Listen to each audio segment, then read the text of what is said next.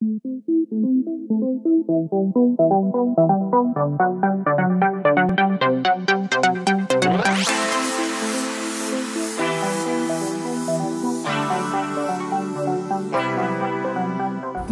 I uh, have the pleasure to interview Dr. Claus Wilke from the University of Texas. He uh, does his work in computational evolutionary biology and his research interested, interests go from molecular evolution of viruses and biophysical mechanism of protein evolution. Uh, uh, first of all, thank you for agreeing to this interview. Sure, you're welcome. And uh, let's get right into it. Uh, since you do molecular evolution of viruses, why do you think it's important for us to understand how viruses evolve? So, it's important for us to understand how viruses evolve because they do it all the time. Almost any viral disease in some form or another is linked to viral evolution, right? So, uh, for example, if you think about influenza, influenza virus, the annual flu season, every season it's a slightly different virus. So the virus has evolved from the last season. The virus evolves in response to our immune responses. And we, we need a new vaccine every year to, to protect ourselves from this new evolved virus. So evolution and viruses go hand in hand. And do you think uh, studying viral evolution will help us uh, further down the road to uh, design smarter techniques to dealing with viruses, designing smarter uh, antivirals or vaccines? Yeah, I think so. So at a minimum, so since you mentioned antiviral drugs, so with antiviral drugs, the problem that you have is, and I mean, we've, we've seen this with HIV many times over, you have a drug and very quickly the virus evolves away from the drug.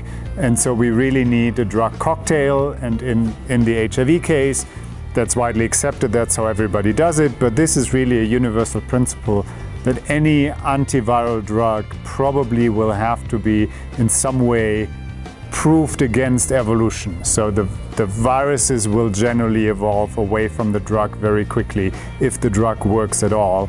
And so any drug we develop, we also have to think about what can we do to make sure that the virus cannot just accumulate a few mutations and then escape the drug action. So do you think that at least for some viruses can we will uh, someday will actually be able to uh, uh, get strategies that will allow us to control them or the virus will always kind of outrun us and we'll have to find new strategies to try to uh, uh, win the battle again, and it will it's like a an arms race with no end in sight. Yeah, so I, I don't I don't think we we can know this. So it's very interesting, I think, if you if you look at influenza, where we need a new vaccine every year, and you look at the measles, the measles evolve almost as fast as influenza, but our vaccine is just fine, right? Yes. We have a vaccine, it works, it has been working for decades, and so I think this is a topic that we still don't really understand. Why is it that for some viruses it doesn't seem to be a big deal? We have a vaccine and it, it just works, and for other viruses we have to deal with this constant evolution. That's certainly one of the unsolved problems still to figure out which viruses and under what conditions will evolve away from a vaccine or drug and which will not. Yes, of course. Uh, and also, especially for influenza, since we have the issue of having to uh, come up with a new vaccine every year, there's been an interest in uh, trying to predict which is going to be the next strain. Uh, and there is no uh, clear answer because some years the vaccines are not a good match. Uh, what strategy you think will work best towards this? Is to change the way we are thinking about this vaccine? the way we are making it is uh, inherently have this problem and, and, do you think we might probably need, will need to think of a vaccine that is targeted against a different uh, viral protein or do you think it's good enough that the strategy we have now that it, it's uh, probably a better use of our uh, of our resources to focus on other viruses for which we don't have vaccines yet? No, I think there's, I mean, the influenza vaccine works quite well, but there's also still a lot of room for improvement. And there's, there's fundamentally, I think, two ways that it could work in the future. One is maybe at some point we can find a vaccine that is just universal and it works, or maybe it works at least for a couple of years. Mm-hmm. Uh, we don't have that yet, but there's people are working on this and uh, trying to find ways to make that, and there's some ideas how it could work. And the other is so prediction works, right? We can predict, but we can't predict that far out. We're actually pretty good at predicting three to six months for influenza. We're not that good predicting a year or two years. And currently, the, the whole vaccine production cycle takes about a year. Right in, in January or February of one year, they decide for the vaccine that then will be used in the fall of the next year. So, if we could somehow speed that up, if, for example, we could wait until May or, or June to, to make the call of what will be the vaccine that will be used in the fall, then of course we would only have to predict for six months and we'd be much better at that. So that actually is purely a question of can we somehow improve the vaccine design methods? Can we speed up? It's an engineering problem, really, more than a virology problem. Uh, well, uh, changing a little bit of topic, uh, since uh, emergence uh, diseases and viral emergent diseases are uh, such a hot topic.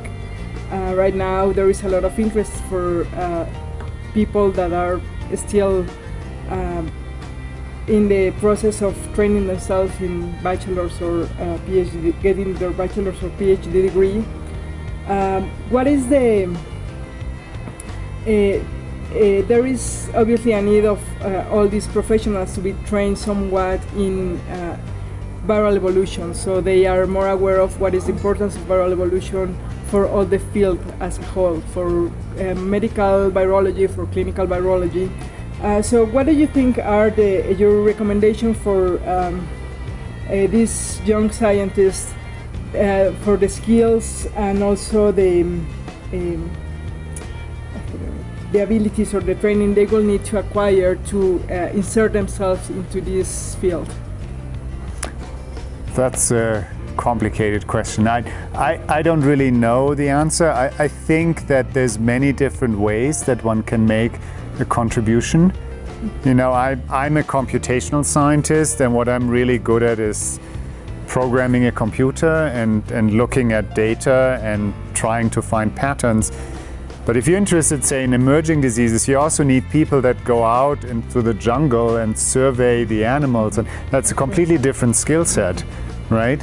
And that would not be me, but some other people might be really good at that. So I think uh, I, I, wouldn't tell people that they really have to do one thing or another thing. I think they should find the areas of science that they're interested in.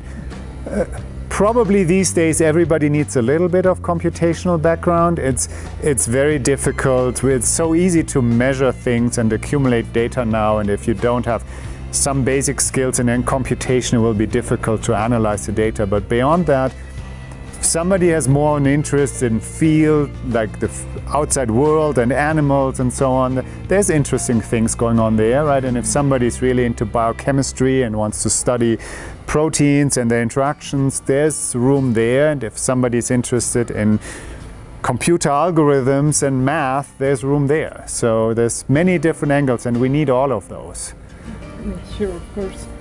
Uh, and uh, finally, I would uh, like to ask also how do you think studying viruses and studying this process on viruses have helped us to understand how evolution works?